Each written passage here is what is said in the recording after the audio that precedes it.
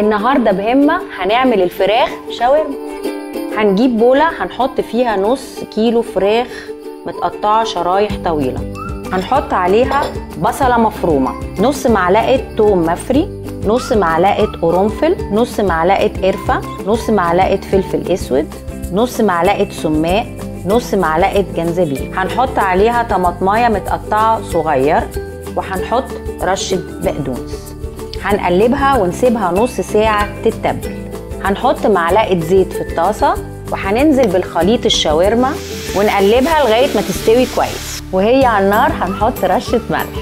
في نص رغيف هنحط تومية رشة بقدونس رشة طماطم وهنحط الشاورمة الفراخ. وكده عملنا فراخ الشاورما بألف عافية. كل وصفاتنا تجدوها حصريا على موقع الوصفة دوت كوم.